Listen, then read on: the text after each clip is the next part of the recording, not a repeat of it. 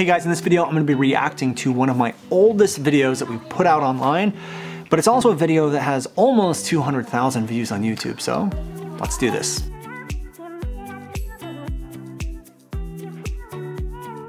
Hey guys, it's Brandon from SoldWithVideo.com, and today I want to show you the top. By the way, I made all, I did all these myself.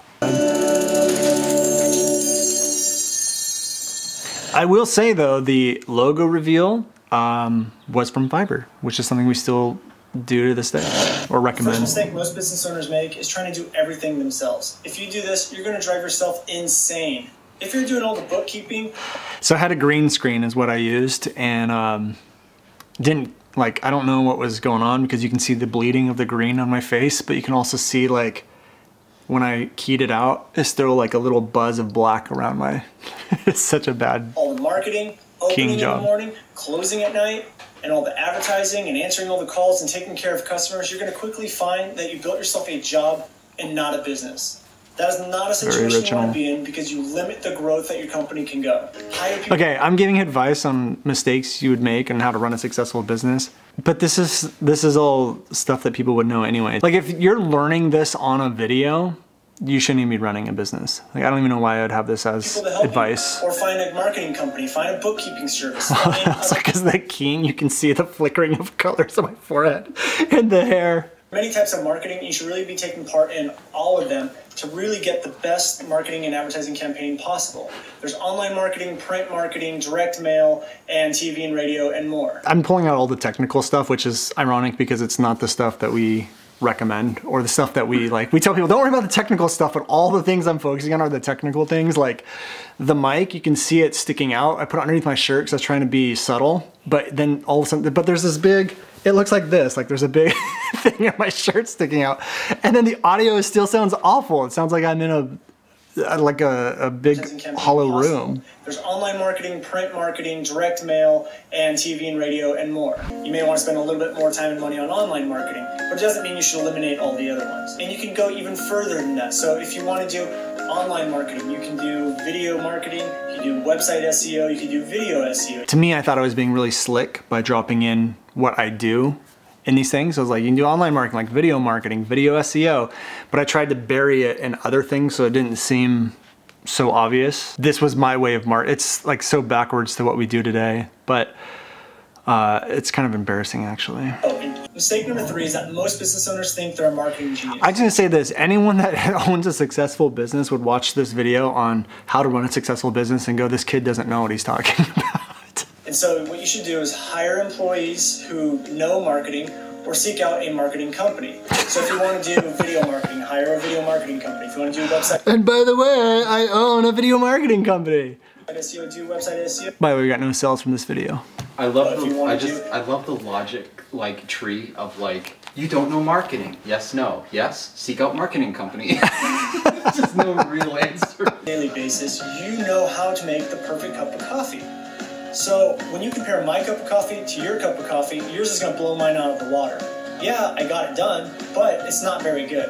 So the same thing goes with marketing. If you really want to get That was actually pretty good. Like, it was a great counterexample, or I guess metaphor analogy that proved the point. marketing, Proud of myself. hire people to do it for you. So if you want to do online marketing, hire an online marketing company. If you want to do video marketing, hire a video marketing company. If you want some video SEO done, And here's my link. Here's my business card. Now you want to focus on your customers you have because you want them to keep coming back to you again and again and again. And if you're spending too much time on marketing driving new customers into your business, What's really funny is I believe almost the exact opposite of this advice today.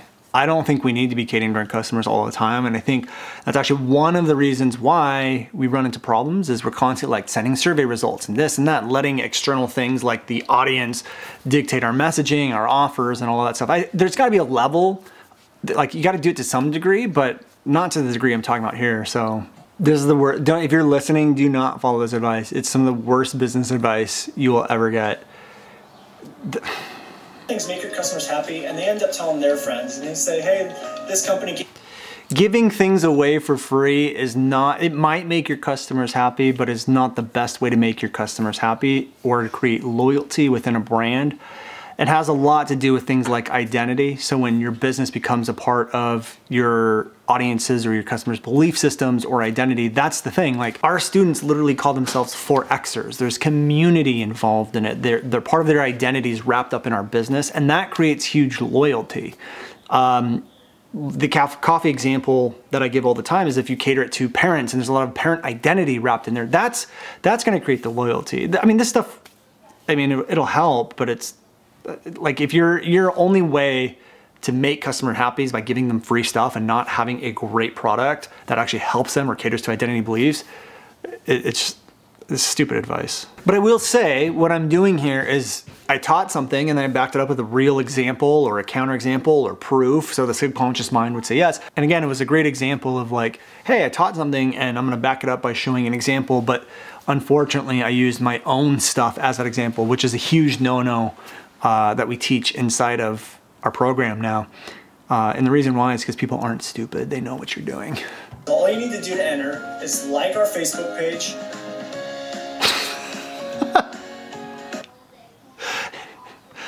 Did you see? You saw this video, right? Is that the load of text? Yeah, so I paused, stopped the video, and I'm like, "Here's our process." And I remember what happened is I actually created a blog post, and I wanted people to opt in for it. Uh, and it's actually a pretty good process for back then, but I didn't want to actually explain it in the video because it's too much work. So I just pile of text and what you should do is send out comment cards ask people's opinions tell them hey you can win a gift card at the end of the month if you fill out this survey we like still that. do that we do that to this now, out of this whole 10 minute video this is actually solid advice that i think people can take away if you haven't changed anything, you haven't tested a new idea, a new message, a new piece of content, a new something inside your business in the last six months, what are you doing? go test stuff. It shouldn't be six months. It should be every month. You should be doing something new or testing or trying or tweaking. Um, and that's a huge part of our company today is I really embrace a lot of that stuff. Sometimes not willingly, but I do it anyways because it is vital. Yeah, I mean, overall, the video is awful. Uh, not great, but it had almost 200,000 views and it was me learning and testing and just doing things and trying to get some action. It actually had 2,300 likes and 80, 85 dislikes. That's what blows my mind. I'm like watching this as a, a successful business owner and the comments are like, people loved it. And so I guess the point here is, is that um, there's gonna be an audience for everyone. Doesn't matter how much you know, because I didn't know crap about running a successful business there. Like, well, let me put it this way. I had a lot of knowledge, or not even a lot, some knowledge on basic things that people would need to do to run a successful business. Like, it wasn't wrong advice, but when you have the knowing of running a successful business and you watch that, you can clearly go, that, that person has no idea what they're talking about. So I would imagine a lot of the people that are leaving these comments probably aren't running a successful business. They're probably just getting started. But I also like, why would a successful business owner be searching how to run a, a successful business, like the top five business mistakes? One person said, this all sounds very familiar to me. Good video. Yeah, because it's very common advice. But anyways, it just really shows that no matter how bad the video is, how bad your performance is, the quality, the tech, the information, there's always going to be an audience. Like there's even comments here, keep it coming. I took no, I took no, I took notes. What do you need to take notes on? This must have been when YouTube was actually nice. If you want to run a successful business, you need to make sure that it profits something. You have to make more money than you spend. And um, you can hire, we have a service that helps you do that. Just click the link. Cool, hopefully you guys like this. Going back and watching these videos is uh, pretty entertaining to say the least. But if you want more videos like this, you want me to review more of our stuff like this, just leave us a comment uh, below letting us know what your favorite part was and if you enjoyed it. And uh, we'll see you guys in the next one.